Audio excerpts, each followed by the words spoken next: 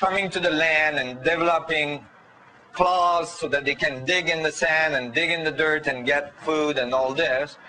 But there's no evidence whatsoever for a turtle coming out to the land and becoming a bird. Right? That just doesn't happen. Turtles stay turtles, birds stay birds.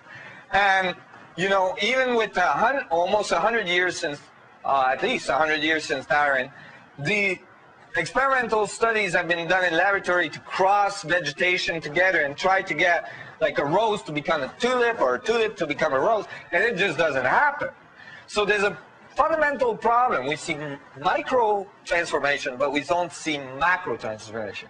So what I'm saying to you is that those must be more fundamental than just adaptation to the surface.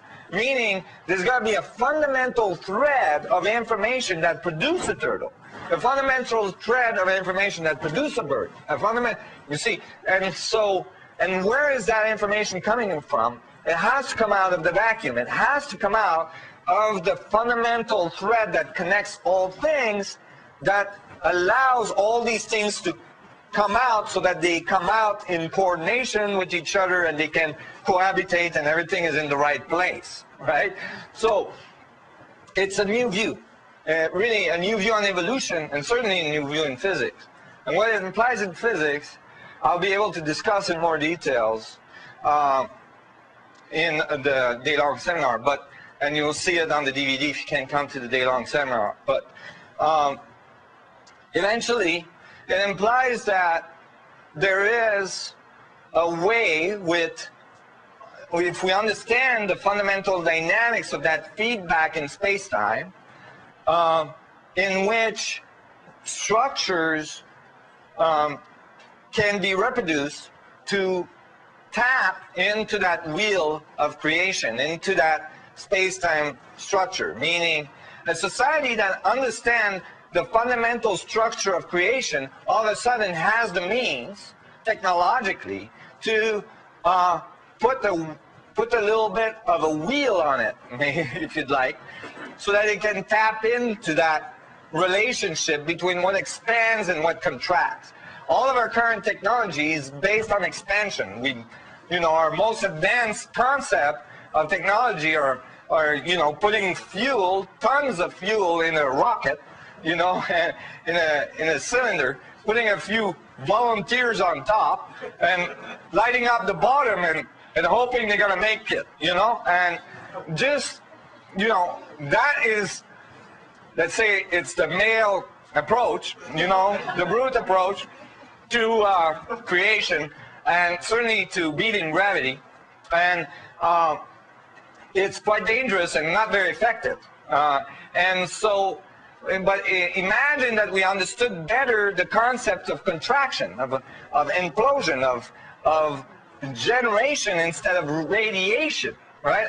What I call generoactive, actually I took that from um, Walter Russell, generoactive uh, instead of radioactive. So that if we tapped into the generoactive vacuum structure, we would have access to energy you know, in excess of, you know, whatever we could imagine.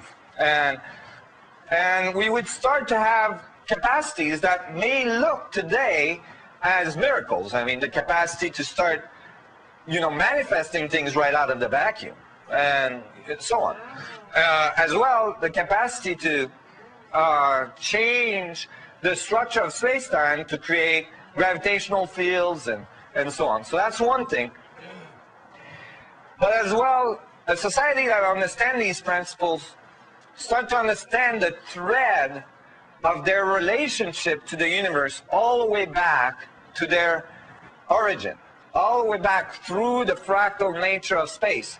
You start to connect with the fundamental power of your existence, and beings that reach that level have very high level of capacity to move information through, meaning more, it's like the, if the universe is truly a feedback, it's just like an electrical circuit. Just, an electrical circuit is a kind of feedback. It has a positive lead and a negative lead, and the electrons are moving from negative to positive.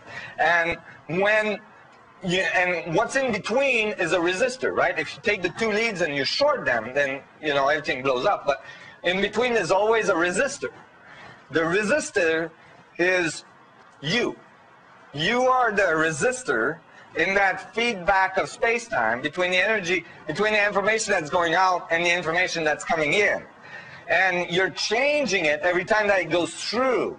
And your world is adjusting to continue to feed you the information so that you continue to learn. And what changes the amount of information that's going through that is the ohm age of that resistor.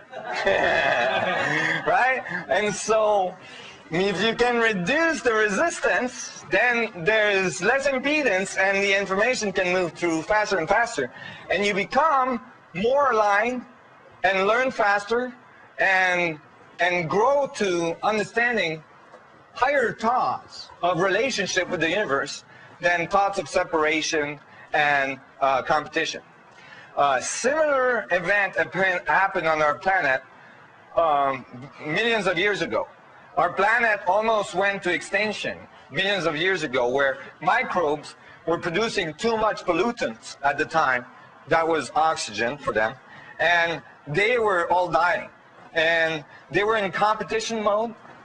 And they went almost to extinction until uh, they figured out that they better collaborate, otherwise they were going to all die.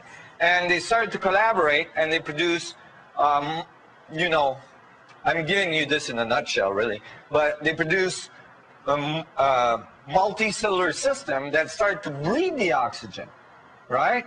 And they beat it, and then eventually all this complexity of our biosphere emerged from it. And that came from a change from competition to collaboration. That's all that was needed. And I believe that now the fractal analogy is that we are a bunch of microbe at the next fractal level, right? And we're learning that very same lesson. And we got to get it real quick uh, because we're at that point of high stress in our capacity to survive. So, and I believe that that learning the fundamental structure of the vacuum, how it applies to physics and technology, and how it applies to consciousness is fundamental to really realizing who we are and our relationship to the universe. And, and by doing so, realizing our commonality, that we all have that singularity within ourselves, that we all come from the same center. I tell people, we live on the planet, right? It's round. Yeah? All of our heads are diverging right? We're all individual. All our heads are diverging, but all of our feet are converging to the same point that connects us all. That same gravitational field, that same singularity. I mean it philosophically and literally. And that understanding that we are all on the same boat and that we better collaborate, I think is going to clubber us in the, in the next few uh, years. Uh, I, I, I, believe very quickly. And, and it's going to allow really new level of uh, physics and new level of technology to emerge. So thank you very much. And uh, if you can, come to the seminar on Sunday. I think there's sign-up sheets in the back. And uh, is there questions?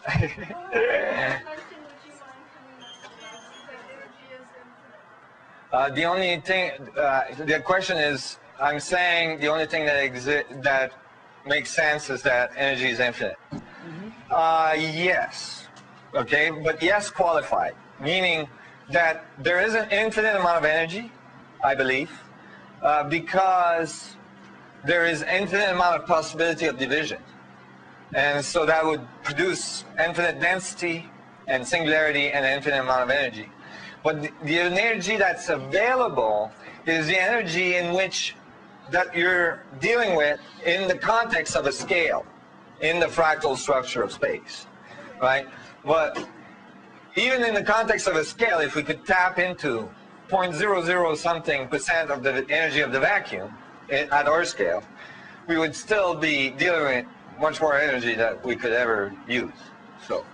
That's very interesting. My question is, um, how do you envision one would access these structures? Just like you need an accelerator to start looking at smaller and smaller particles, do you have a vision of, I mean, what would that look like in your mind? Right. Huh. Okay. Um, the um, you know during the day long seminar, I'll be able to answer that better. Okay, good. Um, but in general, first of all, I, I think that is the main thing is, and what I'm trying to convey here is that it's important for the individuals to connect with that energy in themselves. You know that that you are one of those things that's tapping into the vacuum energy because if you weren't, you wouldn't be here. Like, I, I give you an example. Every atom you're made of is spinning continuously at near the speed of light. I mean, the electron, anything. And you're not pumping them, you're not doing anything.